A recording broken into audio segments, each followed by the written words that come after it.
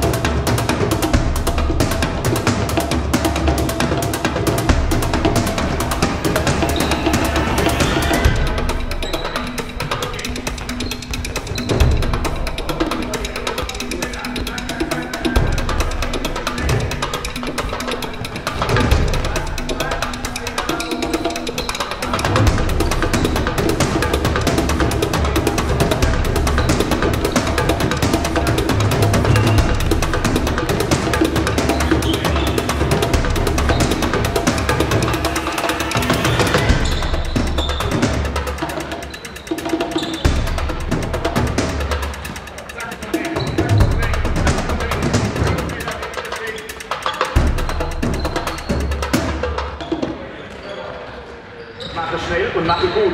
Ja, so, weil im Moment haben wir das Problem, dass zu viele Bälle noch schlecht gespielt werden. Entweder sie kommen zu tief oder sie kommen zu hoch, dann stimmt die Richtung nicht, oder sie kommen auch vielfach zu fest. Ja.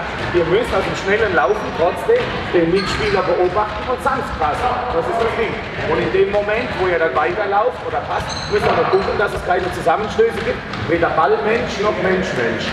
Ball-Ball haben wir noch nicht geschafft, oder? So, auf geht's, los, komm. Besser machen.